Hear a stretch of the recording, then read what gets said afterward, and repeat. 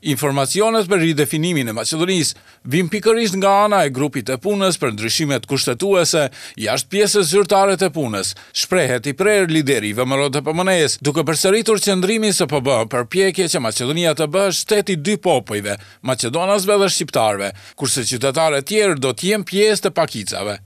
Preambulata da bide promeneta i da bide. Të ndryshohet preambula dhe praktikisht Maqedonia të ridefinohet si shtet i dy popujve.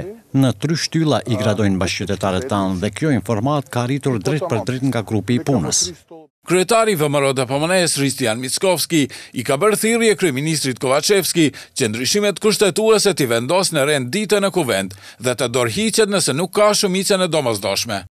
I go povikuvam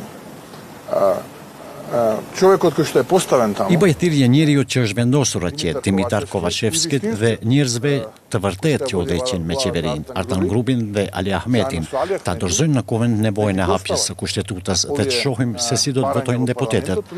Vazhdimisht thonë se kanë dy të tretën e votave. Le të inkurajohen dhe le të votojmë dhe ta shohim rezultatin. Lideri i opozitës maqedonase, Hristijan Mickovski, ripërsëriti se për VMRO-DPMNE-në, çështja e ndryshimeve kushtetuese është temë e mbyllur dhe se në këtë përbërje parlamentare nuk do të ndryshohet Kushtetuta. Sipas Mickovskit, VMRO-DPMNE-ja mbështet ndryshime të Kushtetutës sipas modelit kroat, siç thotë është Kushtetutë e një vendi anëtar të BE-së.